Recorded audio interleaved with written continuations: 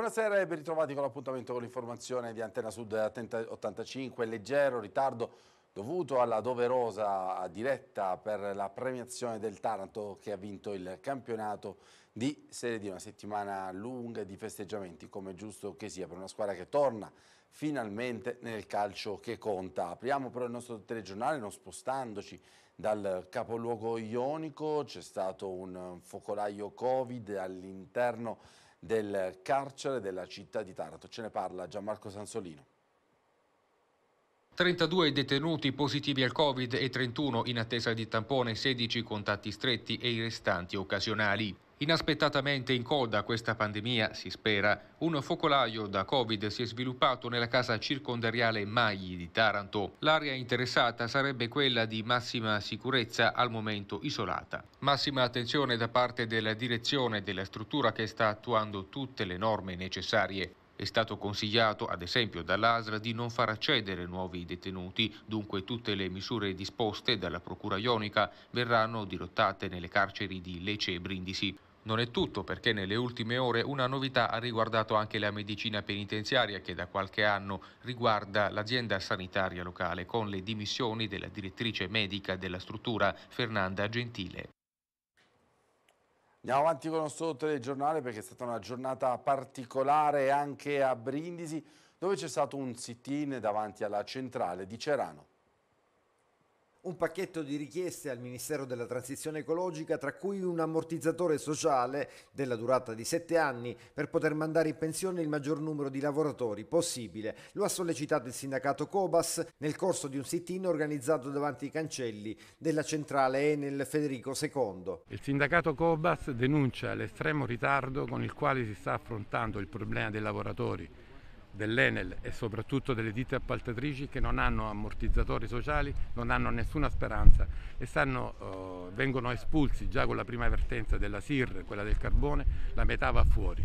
Quindi noi chiediamo uh, di mobilitarsi per andare a Roma e sostenere le nostre legittime ragioni al governo, al Ministero, per chiedere uno scivolamento per la parte più anziana del gruppo dei lavoratori di Cerano di sette anni di abbuono per andare in pensione, da uno a sette anni quindi certamente poi eh, bonifiche, corsi di formazione sulle rinnovabili, chiediamo un polo di ricerca alla cittadella della ricerca per le rinnovabili, di produzione delle, per le energie rinnovabili e di applicazione sui tetti dell'intera provincia delle rinnovabili. Quindi un piano che potrebbe portare molto più lavoro di quello che stiamo perdendo. I Cobas hanno ottenuto un incontro in prefettura per venerdì 2 luglio alle ore 15.30 in cui verrà chiesto il sostegno per un incontro al Ministero. E intanto a Lecce ci sono stati degli arresti per detenzione illegale di droga. Spaccio in pieno centro e questo quanto hanno scoperto nel corso di un regolare servizio di controllo alle persone sottoposte alla misura detentiva degli arresti domiciliari gli agenti della sezione volanti della questura di Lecce. Un'operazione che ha portato all'arresto di un ventunenne leccese pregiudicato perché trovato in possesso di sostanza stupefacente del tipo marijuana e di una pistola a gas priva di tappo rosso perfettamente funzionante. Il giovane era stato arrestato arrestato nell'agosto del 2020 dal personale della stessa sezione volanti per rapina commessa in concorso e lesioni personali commesse al danno di un uomo al quale vennero sottratti il cellulare, il portafogli e l'autovettura nella zona del faro nella marina di San Cataldo.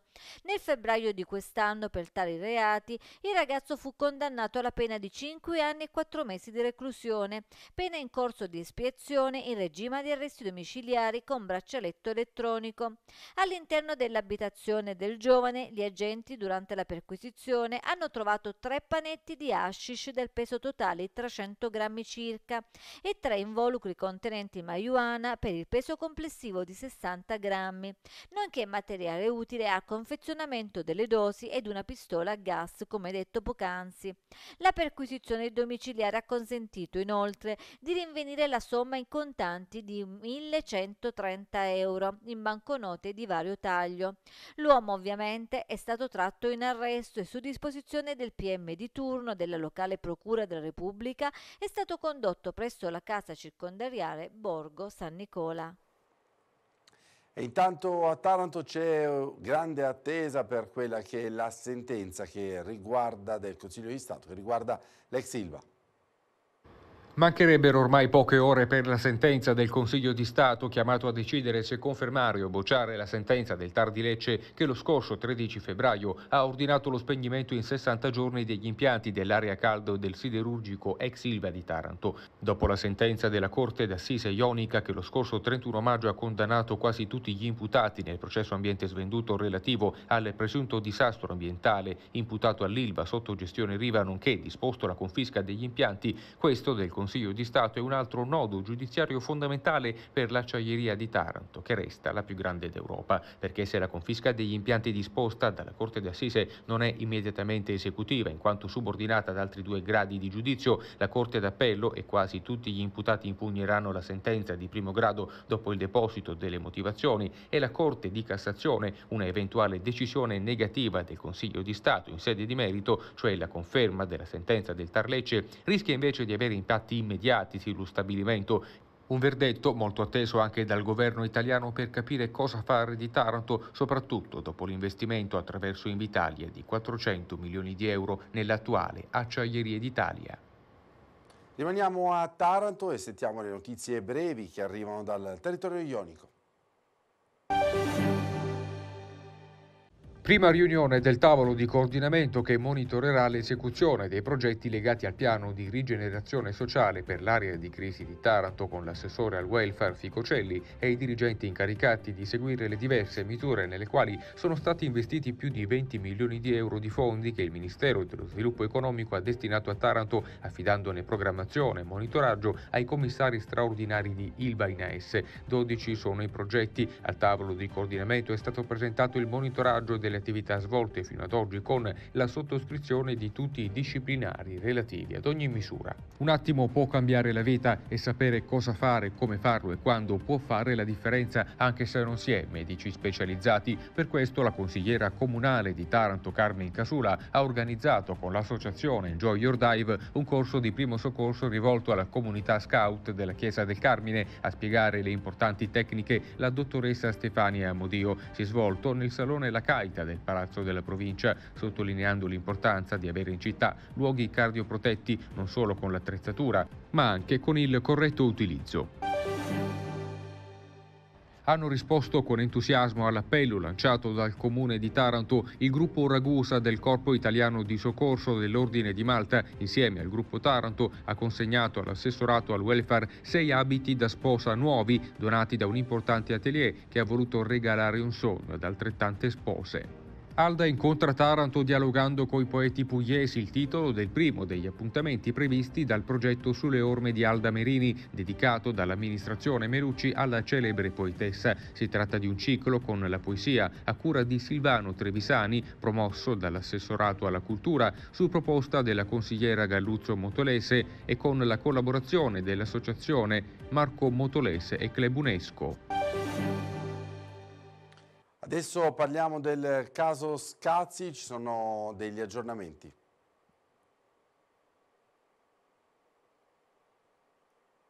11 condanne nel processo bis per depistaggi legato all'inchiesta Scazzi sono state cancellate. La sezione distaccata di Taranto della Corte d'Appello di Lecce ha riformato la sentenza del giudice monocratico del Tribunale di Taranto datata gennaio 2020. Il non doversi procedere per intervenuta prescrizione è stato dichiarato nei confronti di otto imputati, tra cui Michele Misseri, lo zio di Sara, condannato in via definitiva nel processo principale a otto anni di carcere, condannato in primo grado anche a quattro anni di reclusione perché rispondeva di autocalunnia. È scattata la prescrizione anche per Ivano Russo, il giovane che sarebbe stato conteso tra Sabina e Sara. In primo grado aveva rimediato la pena più alta, cinque anni di reclusione per le ipotesi di false informazioni al PM e falsa testimonianza alla Corte d'Assise. Prescrizione pure per Alessio Pisello, un amico di comitiva.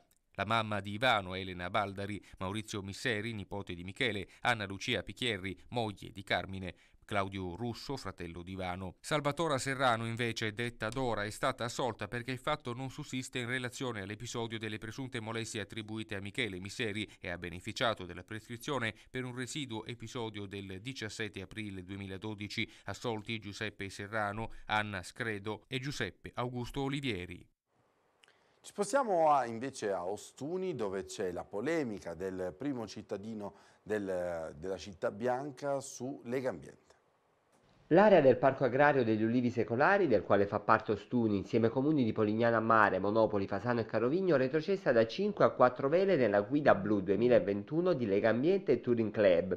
La delusione del sindaco della città bianca Guglielmo Cavallo, che spiega i motivi dei finanziamenti ottenuti e degli interventi previsti, respingendo le motivazioni espresse da Lega Ambiente per questa scelta che tocca un'area vasta, comprensiva di altri 4 comuni del territorio barese e brindisino diciamo da che mondo in mondo la capacità di attrarre investimenti è un merito che le amministrazioni devono avere e noi questo merito ce lo teniamo stretto. Dall'altro canto eh, evidentemente Lega Ambiente conosce poco il progetto, l'unico progetto che eh, è stato presentato da Four Seasons eh, di acquisizione di una lottizzazione già approvata più di vent'anni fa, merito di questo intervento è di realizzare una struttura eh, molto importante che consuma meno suolo, paradossalmente, e rispetta il, il PPTR della Regione Puglia. Quindi tutto questo accanimento verso questa progettualità, verso questa crescita del territorio è sicuramente fuori luogo. E del resto devo anche dire che questo intervento non riguarda la piana degli ulivi secolari e quindi anche da questo punto di vista la motivazione con cui viene retrocesso l'intero comprensorio, che mi dispiace per i comuni di Monopoli e Fasano che vengono tirati in ballo in maniera altrettanto e ancora più immotivata rispetto a Ostuni e una motivazione è una motivazione completamente ehm, infondata.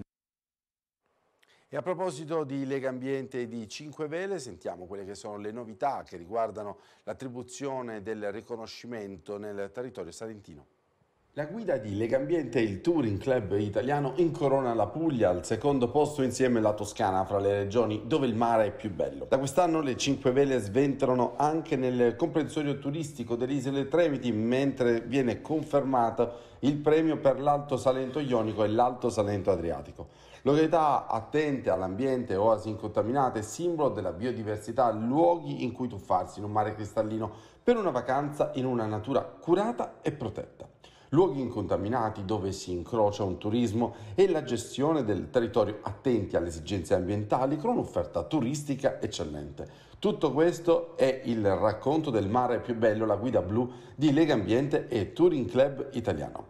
Nell'estate della ripresa le cinque vele vengono confermate nell'Alto Salento Adriatico, a Otranto, Melendugno e Venone nella parte ionica con Nardò, Gallipoli, Porto Cesario e Racale, un riconoscimento importantissimo che dimostra l'attenzione del territorio salentino nei confronti della cura del suo mare e soprattutto di tutto l'ecosistema che lo circonda. Ed era questa la nostra ultima notizia. L'informazione di Antenna Sud 85 ritorna puntuale e in diretta domani mattina con l'appuntamento con la nostra rassegna stampa. Questa sera invece non perdetevi linea diretta a cura del nostro Michele Iurlaro. Buona serata.